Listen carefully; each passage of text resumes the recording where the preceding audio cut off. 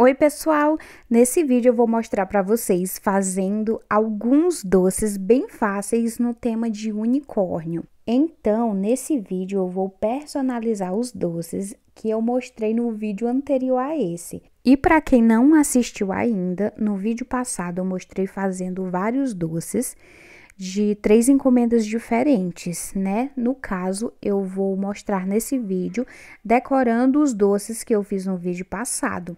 Hoje eu vou decorar a encomenda dos doces de unicórnio e nos próximos vídeos eu vou trazer é, o restante, né, dos doces, só que eu vou dividir os vídeos, né, porque são temas diferentes, assim fica melhor para vocês. E se você que está assistindo esse vídeo ainda não é inscrito aqui no canal, eu te convido a se inscrever para você não perder os próximos vídeos. Então, aí eu estou fazendo a pasta de leite em pó que eu vou usar para decorar as mini trufas.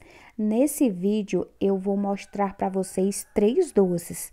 Serão as mini trufas personalizadas com a pasta de leite em pó, pirulitos, que eu vou decorar de uma forma bem simples, usando adesivo, e também os bolos no palito, que eu também vou decorar usando adesivos. A cliente me pediu os doces dessa forma e eu atendi ao pedido dela. Então, no finalzinho do vídeo, eu vou mostrar para vocês todos esses doces finalizados. Então, aí, pessoal, eu já terminei de fazer a minha pasta de leite em pó. E se você quer aprender a fazer essa pasta, tem um vídeo aqui no canal onde eu ensino passo a passo e dou várias dicas para você não errar ao fazer a sua pasta de leite. Eu vou deixar o link desse vídeo aqui na descrição e vale muito a pena você assistir esse vídeo depois que acabar esse, tá bom? Então, agora, pessoal, depois de terminar de fazer a pasta, eu embalo ela muito bem aí no plástico filme, porque senão ela vai ressecar, né? Então, eu embalo bem e deixo ela descansando por alguns minutinhos. Agora, eu estou cortando aí os adesivos que eu vou colocar nos pirulitos. E essa arte aí, né, dos adesivos eu faço usando o aplicativo no celular. Imprimo mesmo aqui em casa em papel fotográfico adesivo recorto e agora eu estou embalando os pirulitos e depois é só colar o adesivo aí nesse saquinho.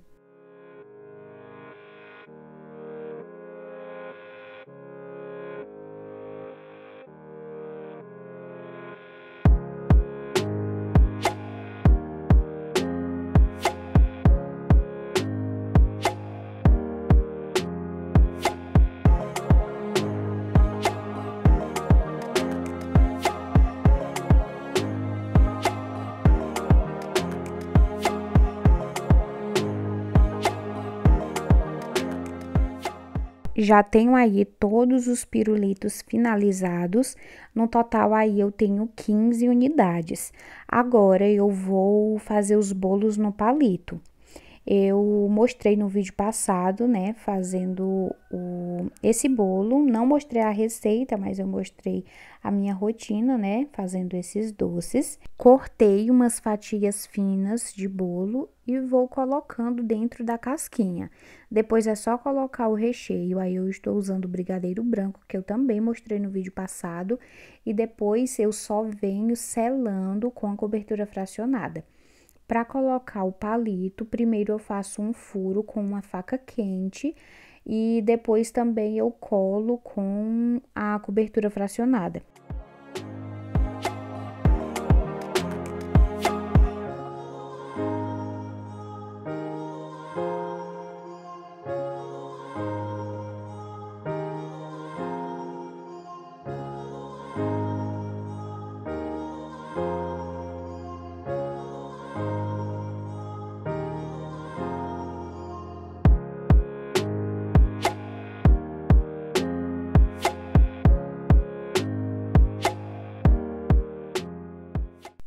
Então, agora eu vou embalar esses bolos no palito e eu estou usando o mesmo saquinho que eu usei para embalar os pirulitos.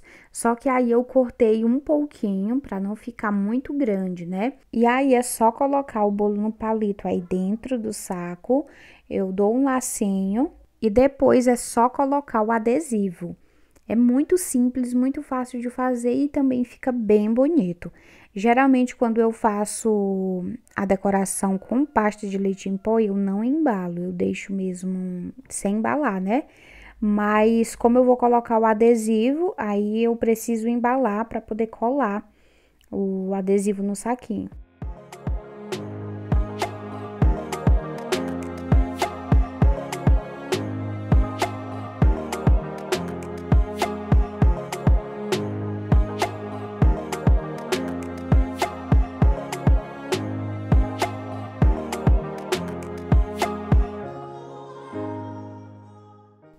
Pessoal, agora eu vou decorar as mini trufas.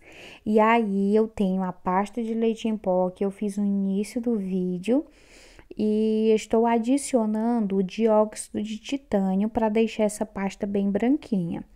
Então eu peguei uma porção de pasta e estou tingindo de branco, né? E depois eu vou porcionar essa pasta e vou começar a tingir com outras cores. Primeiro eu tinjo de branco para depois quando eu vier com o corante em gel, né, azul, rosa, verde, ficar num tomzinho mais claro, não ficar aquele tom assim tão escuro. Então aí eu tingi nas cores amarelo, verde, rosa, azul e deixei um pouquinho de pasta branca também. Agora eu vou decorar, né, fazer as decorações para depois aplicar nas mini trufas.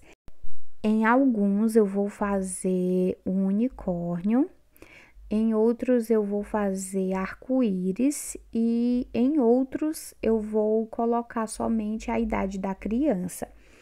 Esses doces são muito fáceis de fazer. Eu estou usando o molde aí, mas se você não tiver, é super tranquilo de fazer também, como vocês podem ver aí, né?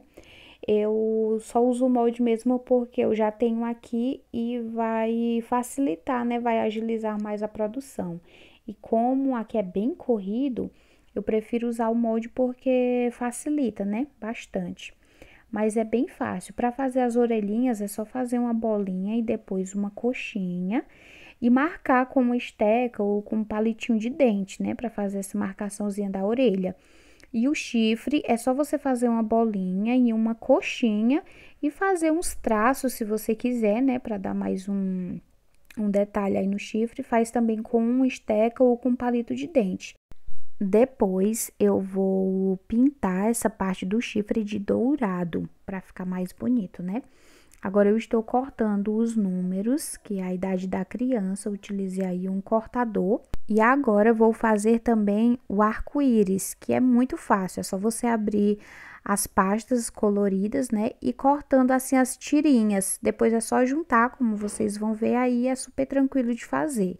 E se você está começando agora nesse mundo dos doces personalizados e quer comprar os materiais, mas não sabe por onde começar, eu vou deixar o link para vocês aqui na descrição de uma lista que eu fiz lá na Shopee para ajudar a vocês né, encontrar esses produtos com mais facilidade. Lá tem a maioria dos materiais que eu uso aqui na, na minha confeitaria, né? Tem vários cortadores, os moldes que eu mais uso e eu acredito que vai ajudar bastante. Mas é claro que para você começar a fazer os doces personalizados, você não precisa investir em muitos materiais, né? No começo eu improvisava bastante e aos poucos eu ia comprando, né, o que eu achava que iria facilitar ainda mais na minha produção. É, então agora, pessoal, como vocês viram aí, eu coloquei pó dourado com um pouquinho de álcool de cereais e pintei o chifre, né? Agora eu peguei um pouco de pó aveludado preto, também com um pouquinho de álcool de cereais, é só uma gotinha mesmo. E com esse pincel da ponta bem fininha, eu vou fazer os olhinhos do unicórnio.